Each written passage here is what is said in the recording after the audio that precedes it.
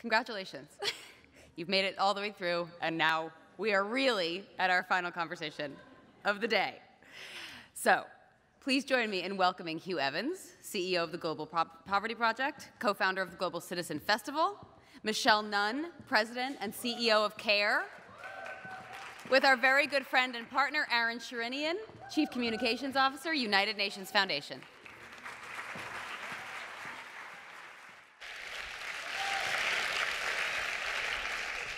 It's great to be here with the two of you. I got to tell you, this is a little bit daunting.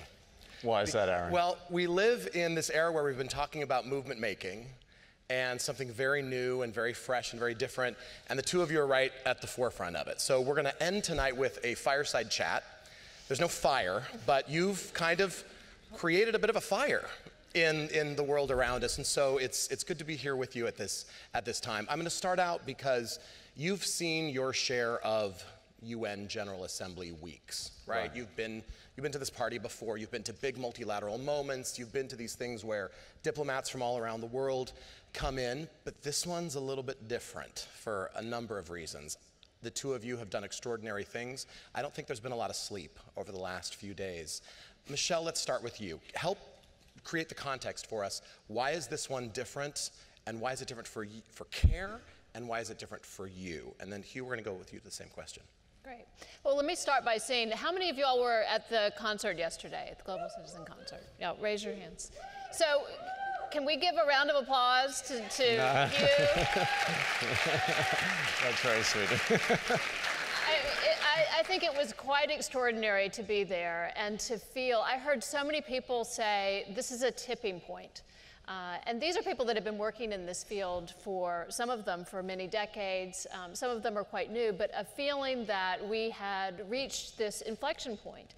And I think the energy was, was palpable. And, uh, and so I, I do think we have to figure out how do we radiate this out and how do we sustain it. Uh, but, but I think the example that Hugh has set around taking, I was hearing stories of the early days of what you, you were doing. And thinking about how far this has come in such a short period of time, really to bring this work that I think has been going on for some time, but into the public consciousness, to really build a citizen movement. And, and that's what I feel like is different. I feel like we're on the cusp of something quite uh, powerful, but it is up to the people in this audience and those that you can communicate with to see if we can sustain that energy. How about you, Hugh? Why was this, why was this that tipping point? Why was it different? Well, I, I want to start by saying thank you for such kind remarks. That's very kind of you. And I think that it should be said up front that no movement, true movement, is about any individual. And I think that, um, you know, you, Aaron, have been a huge partner of ours this year, and I really want to thank you for that. And uh, I also want to acknowledge Richard Curtis, the amazing creative director of last night's festival, who did such an amazing job, as well as Chris Martin himself, who who brought the music together. Um, but for me, what made last night different was I don't think our team has ever worked harder for anything in our whole life. I think I haven't slept in the last two weeks oh, at yeah. all. Well, and uh, last night, Richard and I were in the editing truck till 7 a.m. this morning, still editing the one hour special for the BBC Worldwide distribution. And, and you know, we, we came out of it last night, and Richard texted me this morning. He said, Hugh, I think that was the hardest night of my life. And uh, I think he's right because we pushed, everyone pushed themselves so hard this year to try to make the launch of the global goals something really special. And now, the moment we've finished the day, the one question that we're grappling with and, and that I'm totally committed to is what does that lasting movement to achieve them look like? Mm-hmm. And uh, that's the thing I'm committed to. I, Richard, and I, Richard and I had this creative tension this whole year where it was Richard's goal was make the goals famous. My goal was to build the lasting movement to achieve them. And we came together in this beautiful unity between Project Everyone and Global Citizen that, that really made last night so special. So I think if you saw the creative, you saw the global goals represented in every which way, but you also had a very clear and compelling, either policy driven or global citizen driven call to action. And that is all about sustaining the movement because it's a 15 year journey. You know, Chris Martin joked last night when he was meeting with Prime Minister Solberg, he said, he said, I'm going to be 53, year, 53 years old by the time I finish this, this job. And, uh, And, and she said, Well, I'm actually 53 years old now, so it's all right. and so, so, so, uh, so, she said, your, your life's not over at 53. So, and indeed, it's not.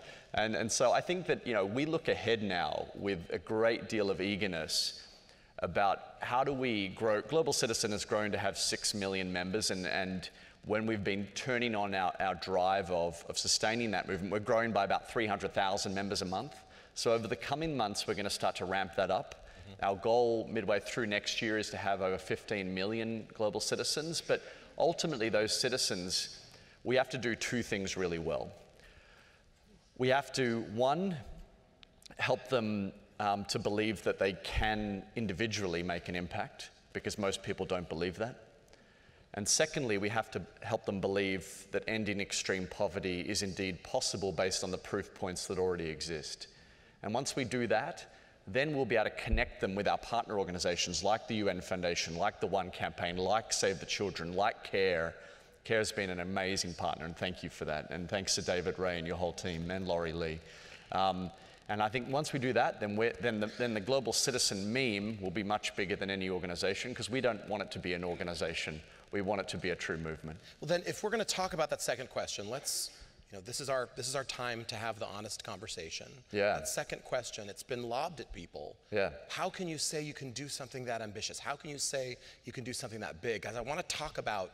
Let's let's take it on. Let's. There's an elephant in the room. Let's let's not in, let's not say, say that it's there. Let's hug the elephant in the room for a minute. I'll, I'll, it is a huge, huge thing.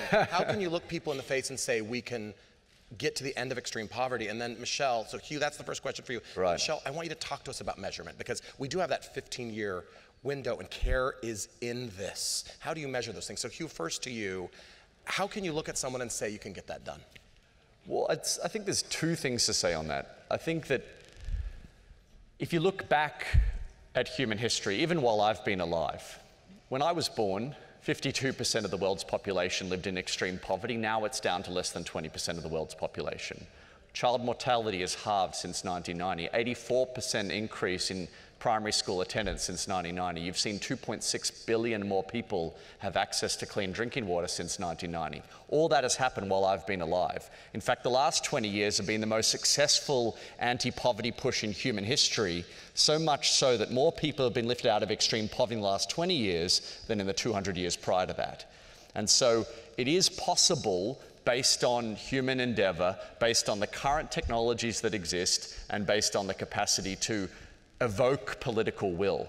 Now, that brings me to the second point because it won't happen unless we actually have that political will, but also the will from the private sector. And we can't take any of that as a given.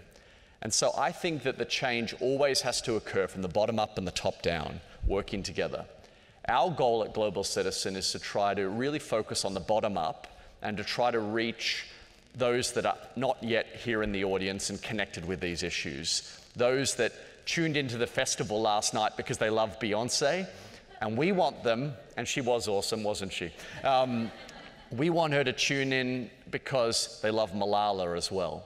We want them to tune in because they love what Malala is saying about gender equality. We want them to tune in because they want to be passionately connected to these campaigns and organizations that they can have an impact in. And that's a pivot, and it takes time because they have to trust the process of engagement. And so so I don't take it as a given. I, I think that we have to believe that the best is yet to come.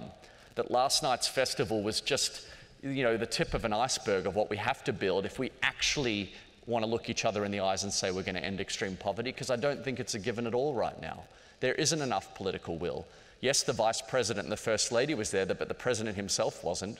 And so, how are we going to actually ramp it up another notch in the year ahead? So, when you're talking to me and saying this, I know you believe it. Absolutely. I, I'm hearing that you want a million, two million, millions of people to believe it. But they need to do that if they can see some of the data. You brought up some great data points. You're not that old, Hugh. You're a young guy. And so you've seen those things in your life. Right.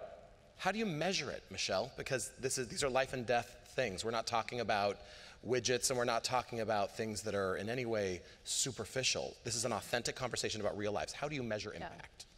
Well, I, first of all, I do think that it's incredibly important to communicate the successes of the past. And uh, people need to believe in the efficacy and in our capacity to reach these goals. That's part of, I think, their uh, really building a movement that they are going to act upon.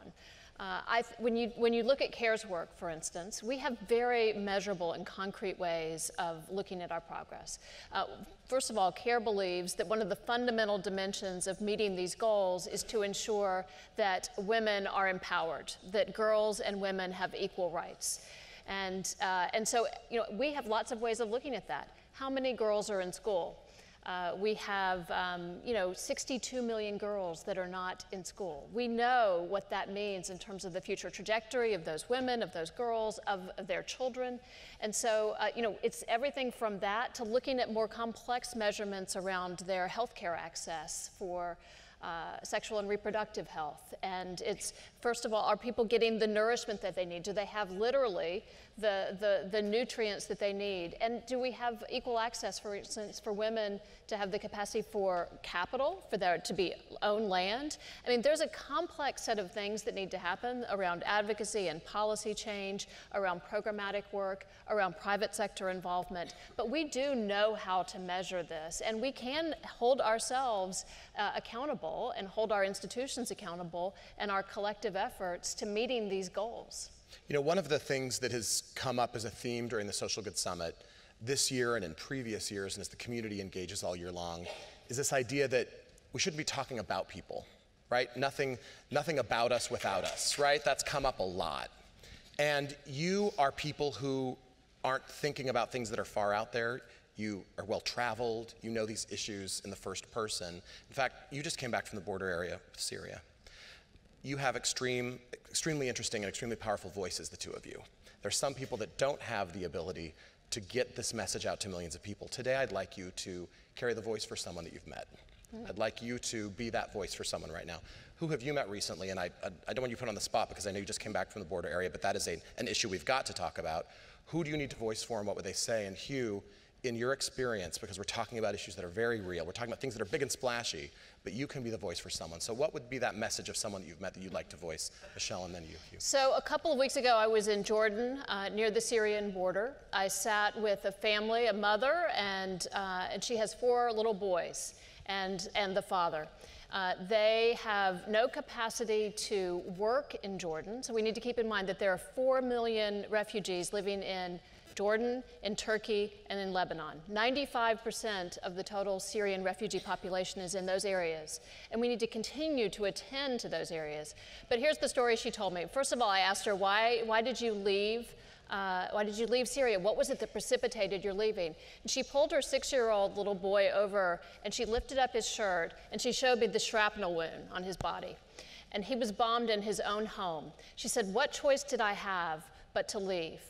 So she then told me that uh, her children had perfect attendance at school in Syria. And then she said that my nine year old is now working, sweeping the floors in order to provide for our family. And my 14 year old only comes home two days a week because he's working on a farm. So you have a 14 year old and a nine year old who have no capacity to go to school, uh, a family that is not sure how they're going to get through the winter. And uh, we have a crisis that the global community has to respond to.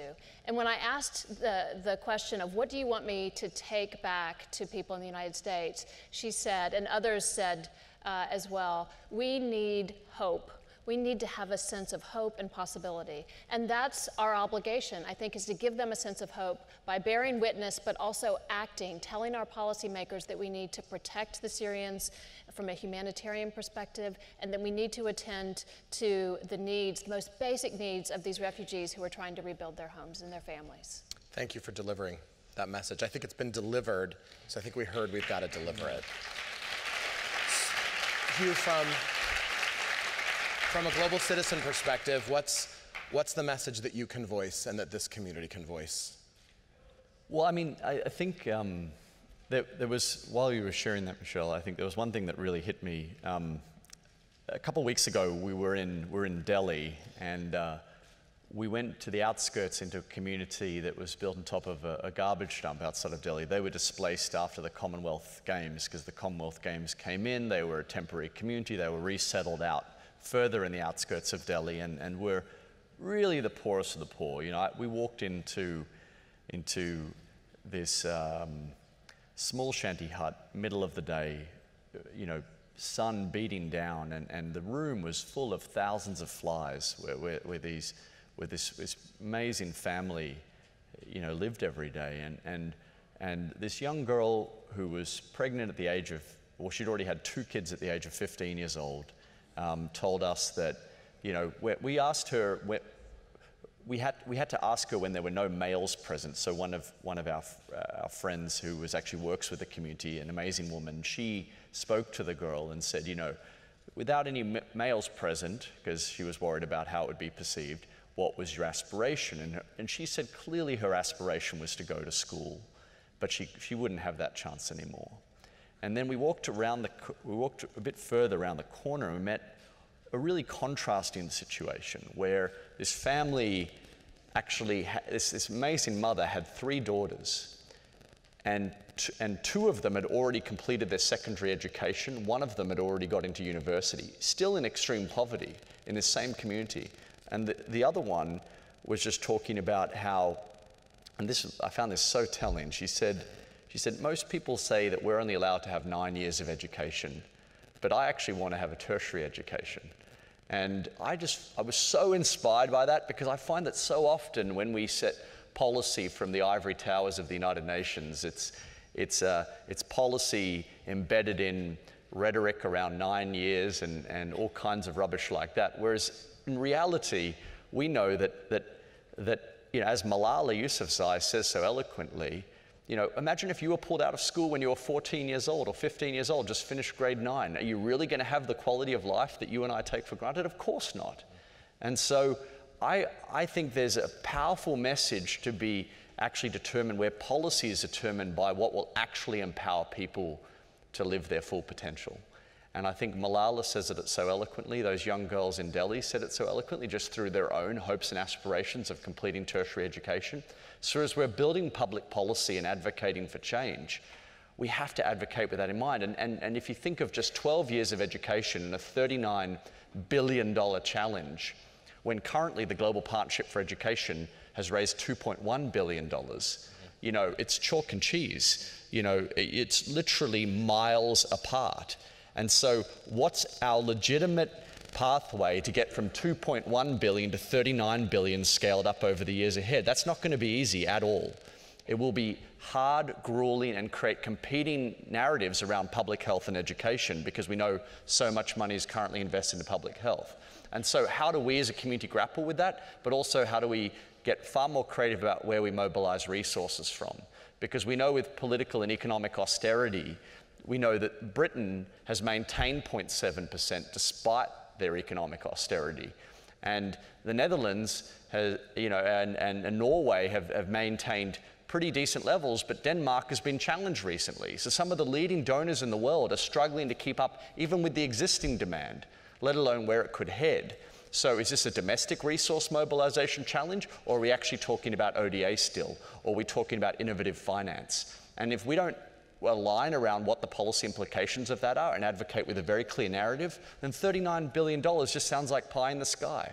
You know, we can't fool ourselves. We have to be really clear about how we're advocating for change, what our targets are, and how we're going to achieve it. So I'm hearing from both of you that there's, there's hope, there's high levels of aspiration, but there's a real issue. There are real issues. I mean, you talked about how we're going to finance it, the issue about how are you going to get these things paid for, how are you going to get these things measured so that we know there's transparency and accountability this blend of you've got to make something big, you've got to have aspiration about it, but you've got to be realistic about the problem is something that, that we've heard from you. We've heard from, from this, this community, these movements. We're going to end with complete the phrase.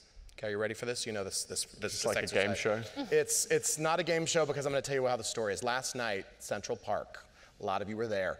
Millions were there. Millions joined around the world. I'm on my way making sure that, that some, some folks that were there had the chance to, to join. And so I found myself walking out for a moment. Okay. And as I'm walking out for a moment, there were a bunch of people on the, on the margins of Central Park, and there was a little family. There was a dad with two little kids, and I was a little nostalgic. I was missing mine. And one of the two little kids asked the dad, Hey, dad, what are they talking, because they heard the speeches, what are they talking about in there? And the shuffle happened, and I couldn't hear his answer. And I thought to myself, What's his answer? What are they talking about in the Global Citizen Festival? So we're going to do complete the phrase. You were there, you made this happen. This is new, this is different. Complete the phrase for that little six year old girl. What are they talking about in there? Michelle, we're going to start with you, we're going to end with you, Hugh. What are they talking about in there? Uh, I think building a truly just world and eradicating extreme poverty. And I will add uh, giving everyone equal rights and equal opportunity. Thank you. Hugh? I think Michelle said it beautifully. I mean, my, my hope would be what they'd say is that all lives are created equal. And that given that all lives are created equal, we, if we act on that fact, then we act for justice, not just charity. Because we know that, as in the words of Nelson Mandela, overcoming poverty is not a gesture of charity, it's an act of justice. And that's what we're fighting for. Hugh, Michelle, we're with you. Thank you. Thanks, Aaron. Thank you. Thank you.